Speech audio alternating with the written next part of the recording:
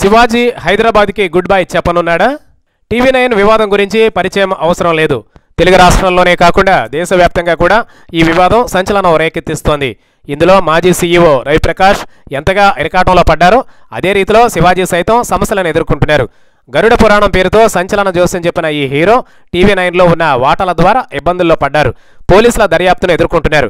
అయితే గత ఐదు రోజులుగా జరుగుతున్న ఈ ఉదంతంలో శివాజీ తెర మీదకు రాకపోవడం వెనుక కారణం శివాజీ తన మకాన్ని హైదరాబాద్ నుంచి అమరావతికి మార్చడమేనని అంటున్నారు.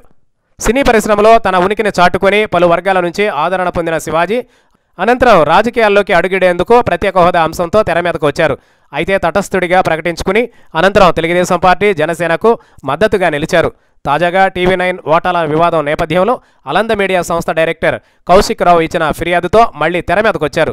ఈ ఫిర్యాదుపై సైబరాబాద్ సైబర్ క్రైమ్ పోలీసులు ఏప్రిల్ ఇరవై నాలుగు ముప్పై తేదీల్లో రెండు ఎఫ్ఐఆర్లు నమోదు చేశారు.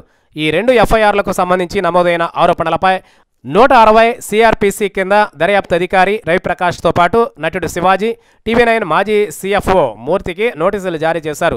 మూర్తి ఒక్కరే స్పందించి మూడు రోజులుగా పోలీసుల ఎదుట హాజరై విచారణకు సహకరిస్తున్నారు. రవిప్రకాష్ శివాజీ మాత్రం ఇంతవరకు హాజరు కాలేదు. రవిప్రకాష్ శివాజీ పది రోజుల గడువు కోరినప్పటికీ దర్యాప్తులో తీవ్రతను దృష్టిలో పెట్టుకుని వారికి అంత సమయం ఇచ్చే అవకాశం లేదని తెలుస్తోంది. ఇలా అన్ని దారులు మూసుకుపోతున్న తరుణంలో హైదరాబాద్ కేంద్రంగా తనకు ఇబ్బందులు తప్పవని భావించిన శివాజీ నగరం నుంచి మకా మార్చేందుకు సిద్ధమైనట్లు తెలుస్తోంది. తన ఇద్దరు పిల్లల చదువుపై సైతం శివాజీ మదనపడుతున్నట్లు చెబుతున్నారు. తెలంగాణలో ఉంటే ఏనాటికైనా సమస్యలు ఖాయమని భావిస్తూ నగరంలోని తన నివాసాన్ని అమ్మేసి అమరావతికి చెక్కేసేందుకు శివాజీ సిద్ధమవుతున్నట్లుగా ప్రచారం జరుగుతోంది. అమరావతిలో ఉంటే వైసీపీ అధికారంలోకి వస్తే ఇబ్బందులు తప్పవనే పరిస్థితి ఉన్నప్పటికీ హైదరాబాద్ కంటే మేలైనదనే విషయాన్ని గమనించి శివాజీ ఈ నిర్ణయం తీసుకున్నారని అంటున్నారు.